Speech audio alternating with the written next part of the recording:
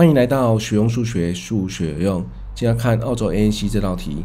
那这个这个是一个工作量的问题。现在有三个人：小雅、小贝、小周。好，我们简记成这个 A、B、C 三个人。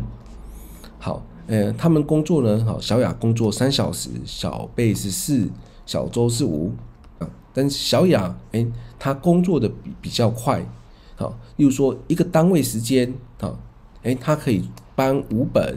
小贝只能搬三本，小贝周只能搬两本，所以呢，虽然他三小时啊，但是呢，每次搬五本，这样子以一小时来说，好，小雅的工作量呢，其实是相当于十五个单位，好，那这边呢是相当于十二个，这边相当于十个，好，所以呢，这最后他们搬完的书的总量呢，大概是十五比十二比十。好，那我们就把它想成这个十五份。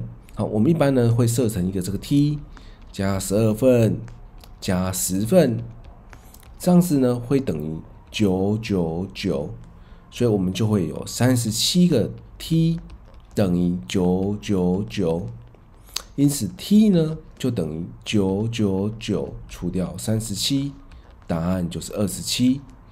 好，那这个是呃一个单位。好，那现在呢？嗯，小雅，好，小雅的话呢，就是搬了十五个单位，所以十五乘上二十七等于这个四百九十五。所以此题对，所以此题呢，就是要先想清楚这三个人他搬的书的总量比是多少，把总量比算出来，我们就可以算出哎个别单位是哎，接下来呢就可以算出哎每个人所搬的这数量。